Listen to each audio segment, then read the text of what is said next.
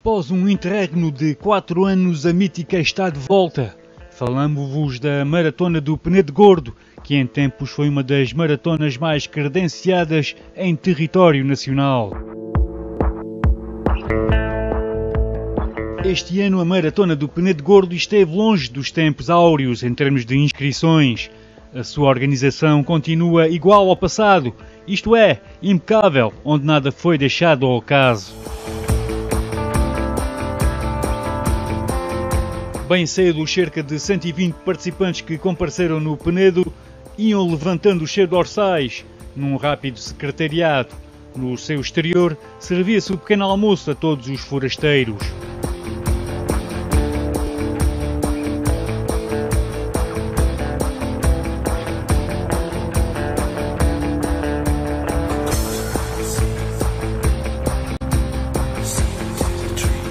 A zona de partida ia ficando preenchida com todos os participantes que não quiseram perder o regresso da mítica. Como nas anteriores edições, os participantes tiveram três percursos à escolha: 50 km, 75 km e 100 km. A geração radical leal ao passado e todos agradeceram.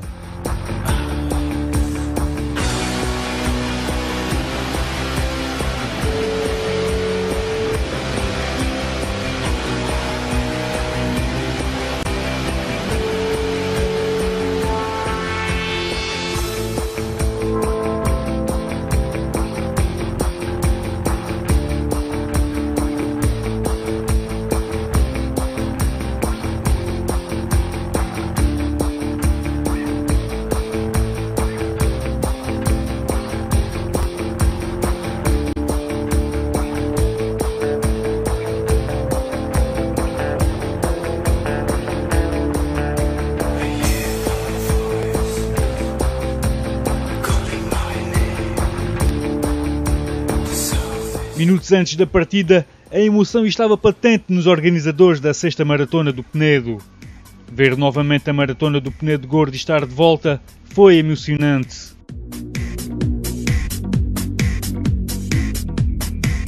Imagens on-board da bicicleta de Hélio Ramos.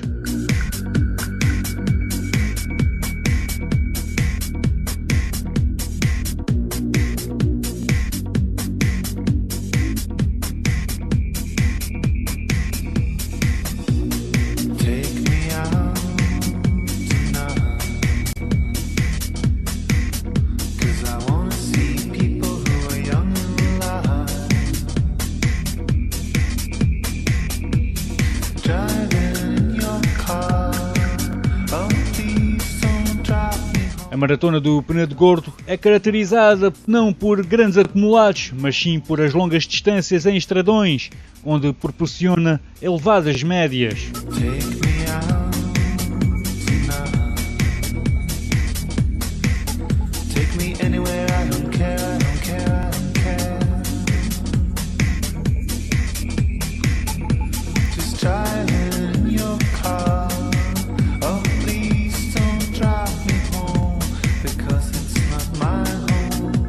Ditado que diz que o Alentejo é plano tem aqui a maratona que o representa, mas engane-se quem pense que é fácil, pois as elevadas médias conjugada com as distâncias percorridas leva à exaustão aos menos preparados.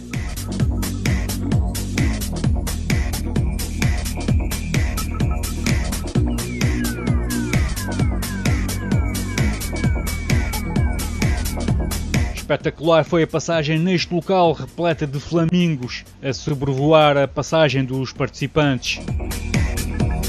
Neste espetacular cenário passam os três primeiros classificados, Hélio Ramos seguido por Bruno Silva e Nelson Valente.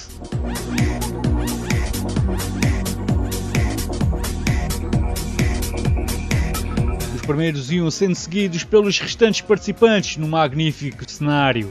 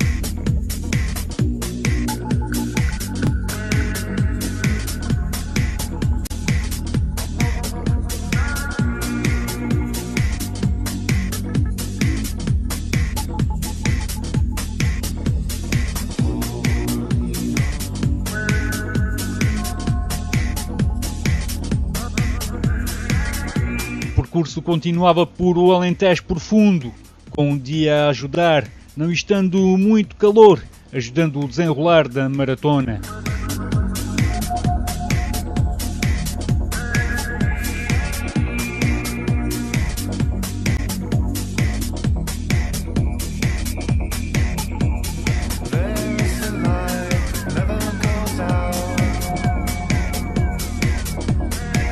Neste local, a divisão dos percursos seguiram para o percurso dos 50 km 76 participantes.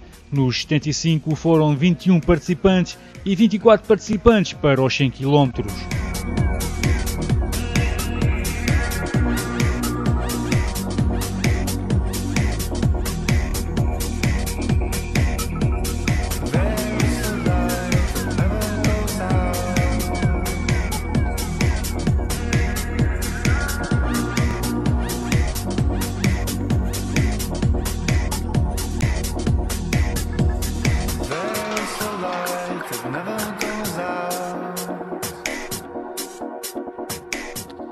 Continuava sem estradões, a perder de vista.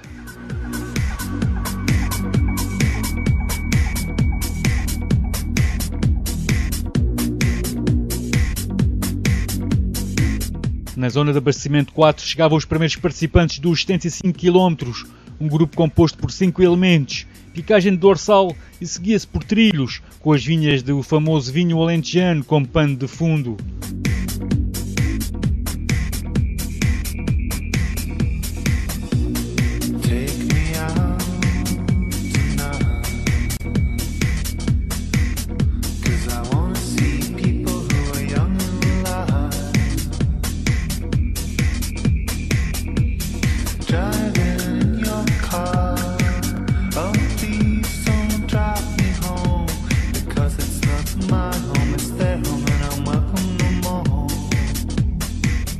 Percurso dos 100 km, Hélio Ramos e Bruno Silva vinham os dois sozinhos, deixando o resto da concorrência para trás.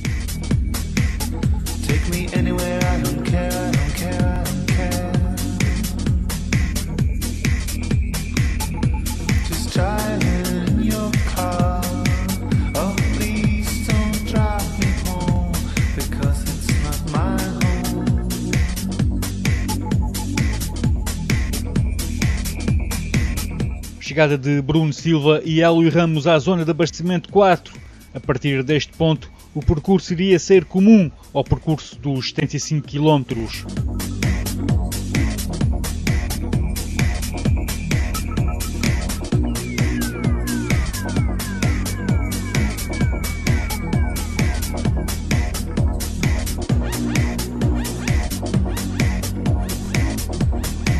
No encalço de Hélio Ramos e Bruno Silva seguia Nuno Reis, Nelson Valente e Jacinto Neves, aqui a chegar também à zona de abastecimento 4.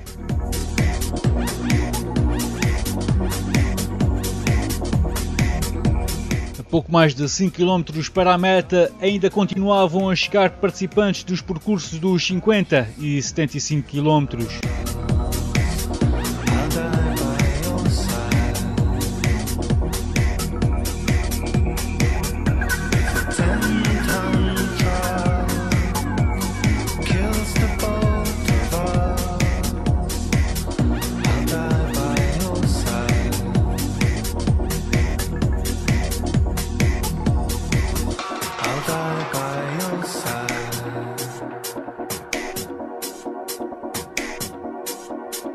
Hélio Ramos e Bruno Silva continuavam juntos, companheiros da equipa da Extremo Sul de São Bartolomeu de Messines.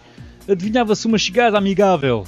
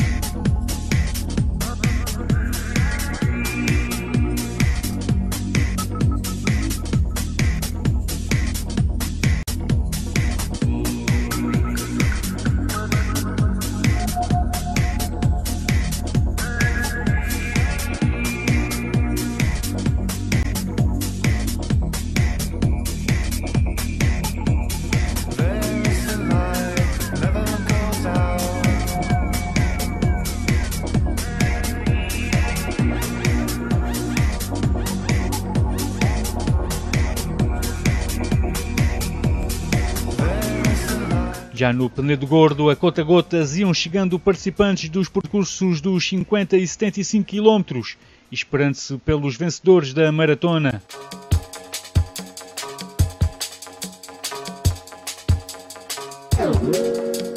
Já na zona de meta surgiam os dois primeiros classificados, cortando os dois a meta em igualdade.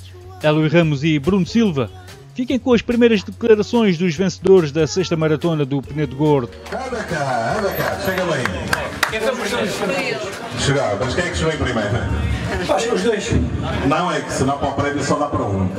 Pá, Foi tu que vieste em primeiro, cortaste ali em primeiro, não é? sim, sim, sim. Então é que está a prova aqui hoje. Pá, muito rápida. Uh, muito só lindo, muito bom. Agora para o fim já estava com uma dor de costas que já só pensava em chegar. E tu a tua preparação tem estado em crescendo agora para chegar a esta primeira de cheio, não é? Sim, está tá mais ou menos. Uh, Está a evoluir pouco a pouco.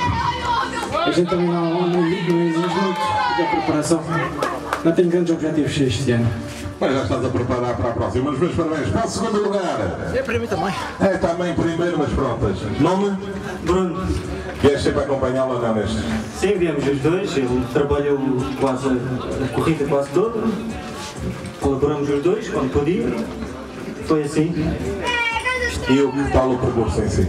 foi bom, foi rolante, isto é para, para preparar agora as provas da, da segunda metade da época, vamos ter, começa já no próximo fim de semana, e foi bom, foi um treino, assim. E correu bem, não é? Os nossos bem-vindos seja muito obrigado por ter estado cá. A zona de meta estava num local aprazível, onde os que chegavam podiam repor líquidos ou comer algo.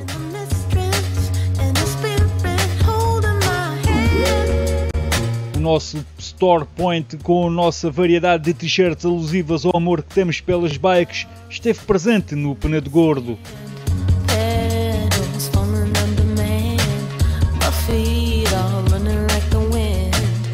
Conseguimos ainda ouvir as declarações do primeiro classificado dos 50 km, Hermênio Rodrigues. Então estamos agora aqui à conversa com o vencedor dos 50 km Arménio de Ermidas do Sada.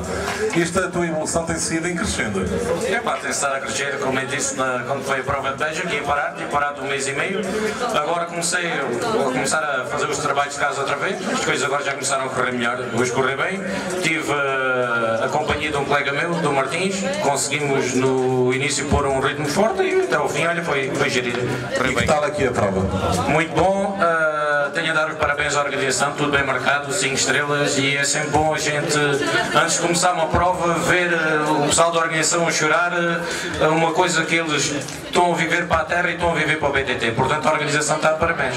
De salientar ainda que a vencedora dos 50 km foi Catarina Larsson e nos 75 km o vencedor foi Luís Pato.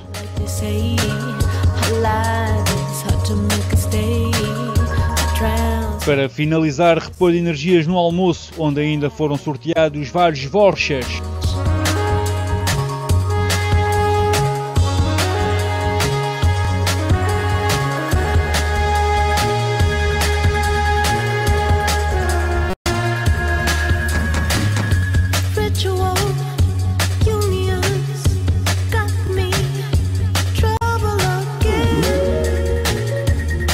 Resta-nos felicitar todos os que meteram de pé novamente a maratona do Penedo Gordo. Esperamos que nos próximos anos a maratona volte ao lugar merecido. O mais difícil está feito. Agora é continuar o excelente trabalho que foi realizado até aqui. Estão todos convidados para voltar a estar presentes na Mítica em 2012.